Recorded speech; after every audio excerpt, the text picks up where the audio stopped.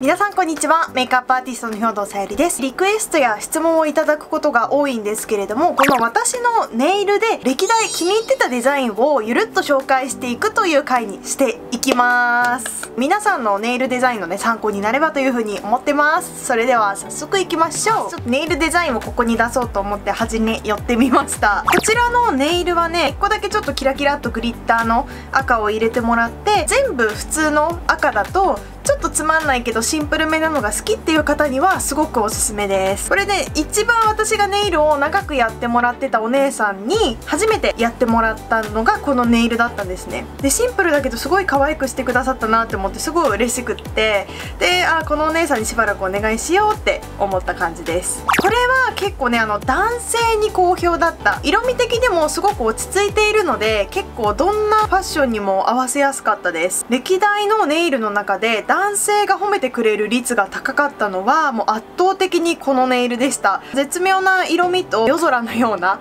えーと、世界観っていうのはやっぱり男性もすごく共感してくれるところがあるのかな。これも結構気に入ってたかな。オレンジと落ち着いた、まあ、ピンクベージュのカラーです。これはね多分ちょっと春先になってきた時にちょっと元気な感じのネイルがしたくてこの色を選びました。なんか懐かしいですね。ネイルで過去を振り返るって。はい。あでこれはね結構私にしてはすごく珍しいテイストだったんですよ。1人でね奄美大島にちょっとリフレッシュしに行こうかなと思って。でその前にネイルサロンに行った時にお姉さんにあちょっと今度奄美大島行くんですけどなんかお任せでいつもやらない感じでお願いしていいですかっていう風にして、えーと、このネイルにしてもらったんですね。真ん中の指のポイントのブルーもよくよく見てみるとまだらな模様になっていて海の宝石的な感じじゃないですけれどどもストーンを置いてもらったっていう感じでしたね、まあ、月に1回のネイルのお姉さんと話すのって私の中ではすごい特別なリフレッシュでだからそういう意味でもすごいネイルに行くのが好きです。お次ですね。このパールが入ったピンクのネイルです。これはね多分その前にさっき紹介したネイルをしていてその反動でなんか可愛らしいのがしたいなと思ってえっ、ー、とこのネイルにしました。春先にもすごいぴったりのネイルだと思います。シルバーのグリッターかな？がなんかすごく爽やかな雰囲気を出してくれてるからこのちょっと甘めのピンクとパールでも指先の印象がすごく軽くてこれも気に入ってました。はい。でこちらこちらはねかなり気に入ってました。透けたような感じのイエローなんだけどなんだろう塗りかけネイルって分かりますか？全部にベタ塗りに綺麗に塗ってるんじゃなくてこうシャッシャってこう筆を動かしてそのタッチがもうそのまま爪の上に残るような塗り方に一応なっていてキラキラっとしたストーンだったりとか、まあ、細かいねあの工夫がたくさんされていてその1本の指だけちょっとポイントに模様になるようにやっていただきました。これはねほんと好評だったしこれ大好きで私あんまり同じネイルしたいなって思わないんだけどこれに関してはまた同じネイルしたいななっていう風に思いましたね。次はこの水色のネイル多分これ夏だったんだと思うんだけれどもこの模様が何とも美しくないですか？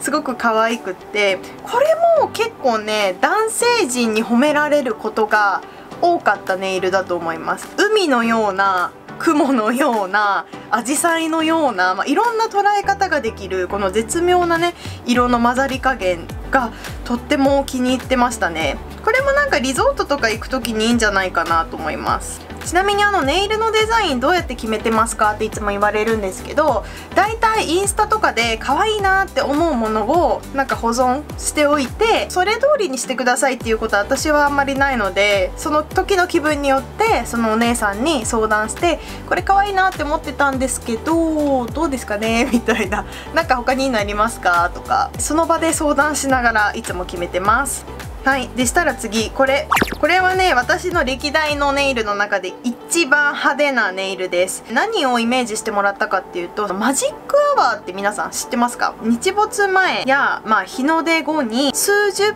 分程度体験できる空がこう絶妙にオレンジと紫とブルーと、まあ、ピンクとっていうちょっと幻想的な色合いをしている時ありますよね。そのことをねマジックアワーって言うっていうことをね知ったんですよ。その時にね。マジックアワーってなんかすごいいいタイトルだなって思ってお姉さんにあの私が綺麗だなと思うマジックアワーの写真をね Google で検索して見せてこんな感じの色合いにちょっと思い切ってしてくださいって言ってやってもらったのがこれです。このネイルが確か私が一番長くやってもらってたお姉さんにやってもらったネイルの最後のネイルだったんですよ。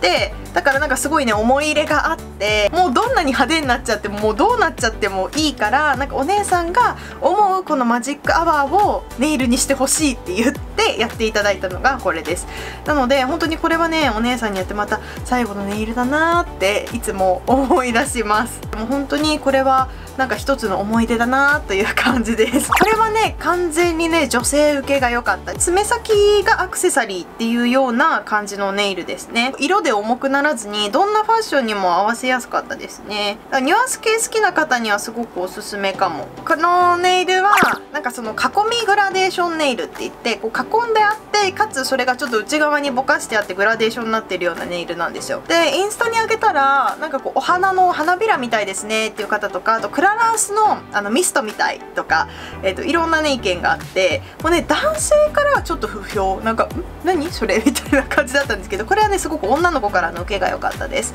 えっ、ー、と今やっているネイルがこの左右非対称のネイルです。このね左右で色を変えるって結構前から流行ってたけどそういえば私やったことなかったんだと思って、えっと、やってもらいました。はい。ということで皆さんいかがだったでしょうか？皆さんのネイルデザインの参考になったらとっても嬉しいです。ということで本日も最後まで見ていただいてどうもありがとうございました。インスタグラムとツイッターもやっているのでフォローよろしくお願いします。それでは次の動画でお会いしましょう。さよなら。